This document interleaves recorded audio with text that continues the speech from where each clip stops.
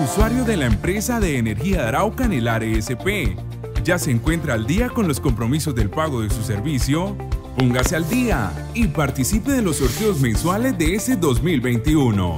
La estrategia Juntos nos reactivamos con la energía trae seis premios mensuales, kit de hogar, kit rural, nevera, lavadora, televisor y celular. Además, pagando oportunamente durante el año acumularás boletas para el premio mayor, un carro cero kilómetros, que se rifará a fin de año. Gane cumpliendo con sus deberes oportunamente con Enelar, una empresa que genera bienestar y desarrollo para el departamento de Arauca.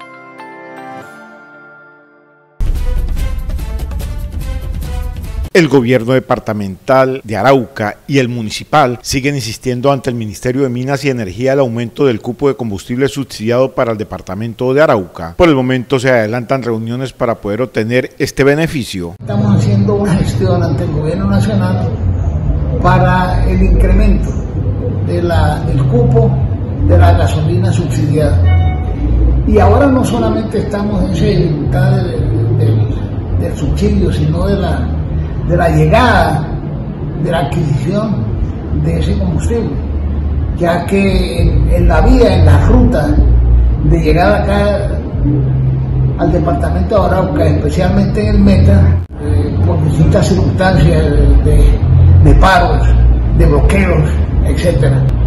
Tenga la seguridad que el gobierno municipal, los gobiernos municipales y el departamental están haciendo todo el esfuerzo por ese líquido vital que es la gasolina, es la sangre del desarrollo. El secretario de Gobierno y Seguridad Ciudadana del Departamento de Arauca, Edgar Fernando Guzmán, aseguró que ya se inició los trámites ante el Ministerio. El señor gobernador se comprometió a iniciar la gestión ante el Ministerio de Minas y Energía, Ministerio de Hacienda, en procura de que no solamente a través de eh, la resolución que está en curso de ampliación de cupo, sino que se haga un una sección particular y especial para el departamento de Arauca, ya que la necesidad está por encima de lo proyectado actualmente. La resolución que se está proyectando y está en construcción establecería alrededor de un 25% de incremento de los cupos. También lo que se busca es que se aumente en un 100% el cupo debido a la demanda de gasolina que existe en esta zona de frontera.